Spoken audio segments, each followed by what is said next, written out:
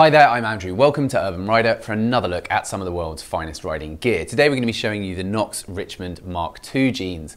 This, as the name would suggest, is the second iteration of these Richmond jeans. The Richmond came across into our lineup about three years ago and it's been one of the best selling jeans ever since. It's a wonderful formula of simple designs, fantastic protection and very reasonable pricing. Knox, who are having an amazing season here at Urban Rider, look set to do even better with the release of these jeans. They've made some improvements and refinements over the successful formula from the original Richmonds and they've brought into play quite a few new features too. So these are much better for it, I think, from a jean that was already very good. There is a modest £10 increase in price from 139 to 149 pounds. And I do still think this makes them one of the best value jeans in our lineup. So what we have in terms of the tech spec as a overall quick run through is a 10 ounce Cordura denim outer. This is integrated with a stretch fabric as well to make it comfortable. This is also new from the previous version, giving you that stretch comfort, meaning that it's easy to get into position, there's no restrictive parts, and also means it's more accommodating for more shapes and sizes. The Cordura is interwoven into the denim to make it still look and feel like denim, but giving you that extra abrasion resistance on the primary outer layer. This is then fully lined and backed up with DuPont Kevlar, which is the industry leader and pretty much the standard when it comes comes to an aramid fiber. So this is a highly abrasion resistant material which sits underneath this denim outer and it gives you a lot of abrasion resistance. So much so in fact that one of the key headline features about the Richmond Mark IIs is the fact they are double ACE approved. Mostly it's only big bulky touring trousers and the like that attain higher AA levels. So these look and they feel just like the predecessors. In fact, they are better, in my opinion, by some margin than the predecessors, and yet they have this AA rating. So that is fantastic.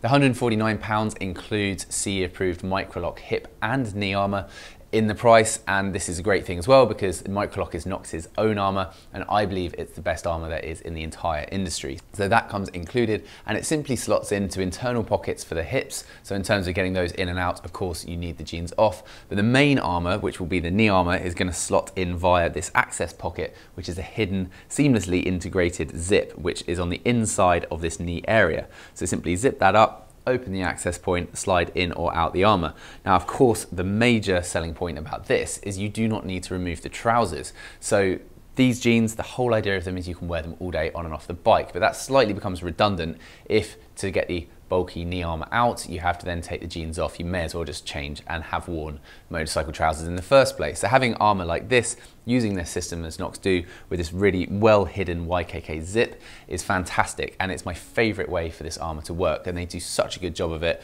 So I'm a big, big fan. The jeans come in blue and they come in black. There is a 33 leg as standard in the jeans. So I like this as well. This is a nicely thought through feature. Most jeans come either 32 or 34, and in reality, being on a motorcycle, 32 being the standard leg length, you do want a little bit, an inch extra because you're going to be with your leg at a right angle in most cases and therefore the bottom, the hem of the jean is going to rise up and you do not want a gap. So having a 33 leg I find is spot on for 90% of people. They will also be introducing a shorter leg for people that need it and that will be available again within a few weeks of the release of the jeans. The actual fit of the jeans in terms of waist sizing is pretty much true to size, maybe one inch generous, I think. So I'm a 33 inch waist, and that means in most jeans that only come in a 32 or 34, I kind of go one way or the other depending upon the particular jean in question. These ones I'm definitely in a 32, quite comfortably in fact, and the stretch in the denim does allow me to get nice and comfortable in them. So I do think they are true they're slightly generous. You can check over at urbanrider.co.uk the full size guide and we give you all the external measurements as well so that you can really compare that to your favorite jeans you have at home and get the right pair first time, especially if you're buying online. So this DuPont Kevlar lining, this is fantastic selling piece as well. Kevlar is one of the industry brand names for an aramid fiber and it lines the entirety of this jean sitting underneath this outer layer. This has also got elastane in it so it makes it really comfortable to walk around in, to sit on and to wear for extended periods, but it does a great job when it comes to abrasion resistant slide times. The styling of the jeans is really quite neutral. They're supposed to look more like your regular everyday jeans than they are an outright motorcycle jean, which appeals to the majority of people out there. And given that these do feel so comfortable with the stretch, it allows them to feel every bit as casual as they look. So the styling, as you can see, you've got the double stitched slightly off-coloured stitching going around the back with this lowered V pattern. You've got the Knox belt loop with branding on this belt area. This is pretty subtle. It's really the only branding you'll find on it. Otherwise, going back round to the front, you can see you don't have any external horizontal stitching for the knee pockets, which is a really great feature making them just once again look as much like your normal jeans as possible. It's a simple zipper to the fly system, which is something I prefer in terms of just ease of getting the trousers on and off.